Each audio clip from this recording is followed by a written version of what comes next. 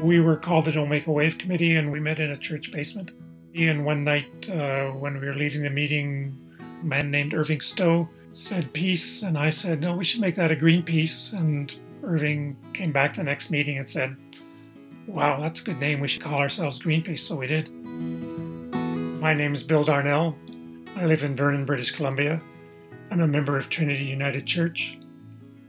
I'm a grandfather, a retired teacher, a husband, and I've been an environmental activist most of my adult life. Camping had a big effect on me because I grew up in suburban Toronto and didn't have uh, much access to the natural world.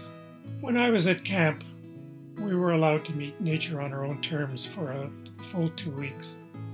And that really sustained me through my adult life. So when I saw things that were wrong, things that we were doing to damage our environment and our life, I was able to take action to correct them, to draw on that experience.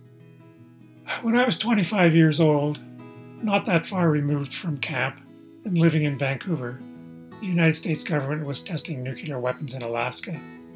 That seemed crazy. And so a number of us sailed a vessel, also renamed Greenpeace, to Alaska and ultimately we were able to stop the United States government testing nuclear weapons underground. Your mission and service gifts support over two dozen United Church run camps across the country. Every year, your generosity gives thousands of children an opportunity to go to camp. Thank you to your gifts to mission and service of the United Church of Canada. Camping made an incredible lifelong dif- difference for me and I know it will make a lifelong difference for other young people across this country.